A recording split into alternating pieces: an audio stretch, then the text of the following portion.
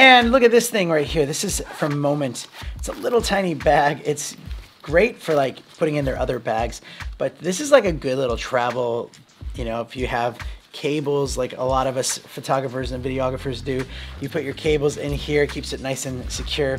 You could put, um, you know, battery packs and um, power banks, things like that, and then then just even inside this part right here, it holds a lot. I like that there's a little spot where you can put a pin in. So if you are doing some international traveling, you do need that pin still. So um, it's really nice. It's weather resistant, um, just high quality material. As you can see, just looks really nice. I do like uh, the feel of it. So it's great to like put in like some other of their bags. So if you have their Moment backpack, you know, you just pop it into there. Just gives you another option of, you know, easily getting some stuff out of that if you need to, and just keeping it even more secure.